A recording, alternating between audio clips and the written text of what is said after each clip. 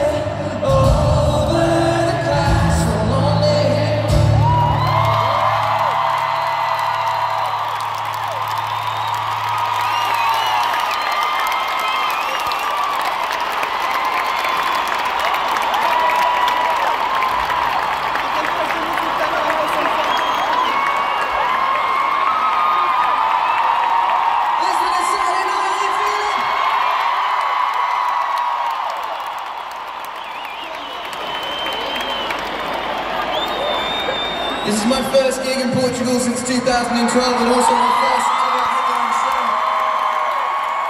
Thank you so much for being here this evening. Are you having a good night so far? Excellent. Um, I'm going to play a lot of songs today that hopefully you know, and if you don't know them, it's going to be a long two hours for you. This thing at my feet is called a loop station. Everything you hear tonight is completely live. It comes from this guitar and this microphone, and it controls my feet.